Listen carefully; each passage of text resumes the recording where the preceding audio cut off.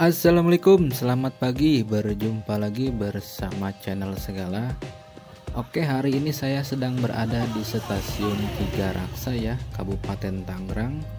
Di sini saya akan mereview jalan menuju Kota Podomoro ya, via stasiun uh, Tiga Raksa. Setelah saya mereview uh, lewat jalur stasiun Tenjo sekarang saya mereview via stasiun Tiga Raksa.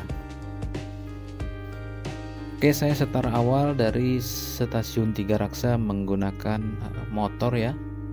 Bisa dilihat teman-teman jalan di depan stasiun Tiga Raksa ya. Terdapat ada yang bolong-bolong juga nih. Sedikit rusak. Kita akan menempuh perjalanan kurang lebih satu kilo ya. Satu kilo lebih nih. Dan memakan waktu menggunakan motor kurang lebih 7 menit ya dalam keadaan lancar.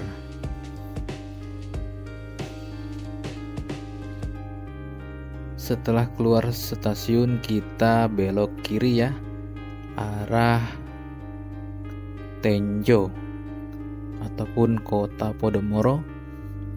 Nah, di sini terlihat pintu perlintasan kereta api belum ada ya, belum tersedia.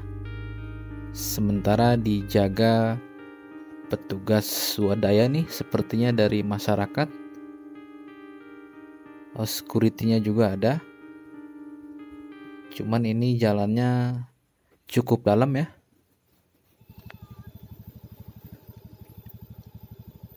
Ini jalan sesudah uh, stasiun ya. Jalan raya Tiga Raksa nih. Stasiun Tiga Raksa menuju Podomoro. Kita lanjutkan perjalanan kita. Waktu ditempuh kurang lebih 7 menit ya. Lumayan bagus nih jalannya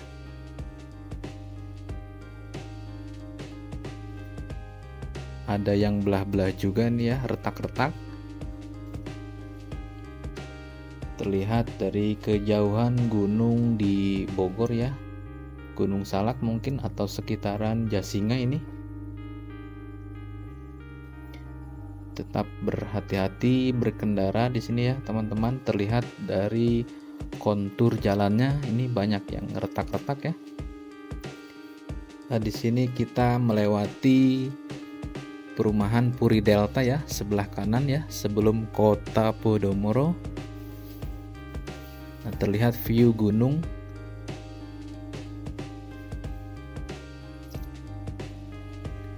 Kota Podomoro termasuk kawasan Kabupaten Bogor ya.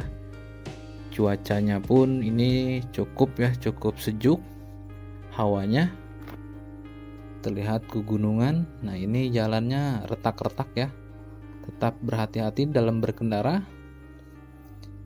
Setelah kemarin saya mereview uh, via stasiun Tenjo, nah ini jalur lewat uh, stasiun Tiga Raksa ya. Nah ini jalan kaki bisa 18 menit nih ya dari stasiun Tiga Raksa versi Google. Sebentar lagi kita uh, sampai di pintu masuk kota Podomoro via Tiga Raksa ya stasiun. Jalannya banyak yang retak-retak. Nah terlihat jalan masuk kota Podomoro via Tiga Raksa sudah di lebarkan ya.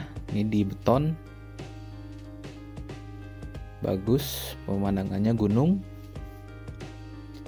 Nah buat teman-teman eh, yang dari Jakarta Tangerang ataupun Rangkas Bitung bisa turun di stasiun Tiga Raksa ya selain stasiun Tenjo. Namun di stasiun Tiga Raksa belum tersedia angkot ya Nah ini kantor marketing galeri kota Podomoro ya. Bagus luas kantornya ya. Jalanannya pun sudah dibangun ya. Sudah diperlebar. Viewnya gunung. Cuacanya cukup cerah nih ya. Sejuk. Pegunungan di Bogor. Nah, terdapat uh, rumah contoh di belakang kantor marketing ya. Cukup luas ini kota Podomoro.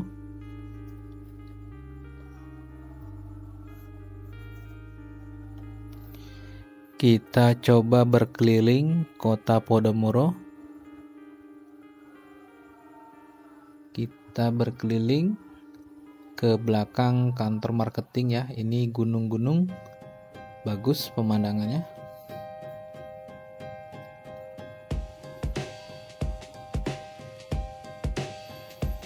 Waduh, tetap berhati-hati nih kawan. Ini ada tiang listrik di tengah nih ya, belum dipindahkan.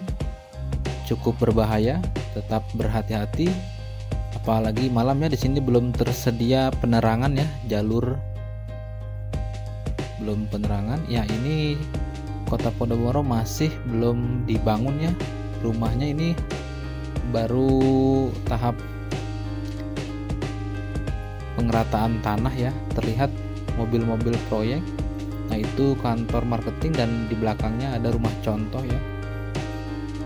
Silahkan teman-teman yang ingin mengambil rumah di Podomoro berkunjung ke kantor galeri ya marketingnya. Nah ini terlihat alat berat sedang bekerja nih ya mengeratakan tanah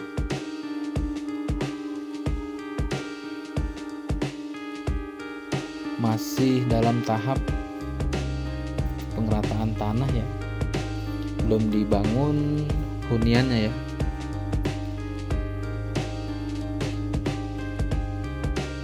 Jalannya luas ya lebar. Aksesnya cukup bagus nih ya.